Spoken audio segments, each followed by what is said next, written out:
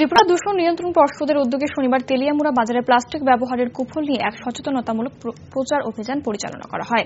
কর্মসূচিতে উপস্থিত ছিলেন দূষণ নিয়ন্ত্রণ পর্ষদের বিজ্ঞানী মিহির দাস আধিকারিক তুলি চাকমা এবং তেলিয়ামুড়া মার্চেন্ট অ্যাসোসিয়েশনের সম্পাদক মধুসূদন রায় সহ অনেকেই। প্লাস্টিক ব্যবহারের কুফল নিয়ে ব্যবসায়ীদের সচেতন করেন অভিযানে উপস্থিত প্রতিনিধিরা। তাদের মধ্যে সচেতনতার প্রসারে বিলি করেন লিফলেট।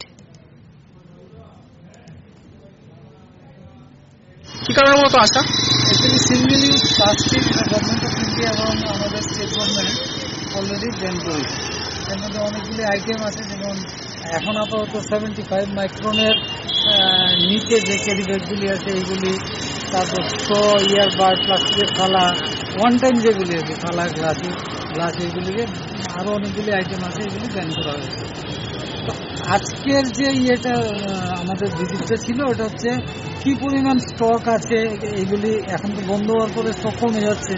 কি পরিমাণ স্টক আছে প্লাস কীভাবে আমরা ডিসপোজ করছি, কোথায় আমরা ডাম্পিং করছি, এইগুলো নিয়ে একটু ডিসকাশন করলাম। এখানে তেলে আমরা মার্কেটের যে ব্যবসায়ী ভাইরা আছে কীরকম সারা পেলেন ব্যবসায়ীদের পক্ষ থেকে? পজিটিভ ওনারা তো চাইছেন যে এগুলি বন্ধ তবে অল্টারনেট যাতে কিছু আসে এটার উপর ওনারা ওনারা অনেক মানে এটা নিয়ে ওনারাও একটু চিন্তা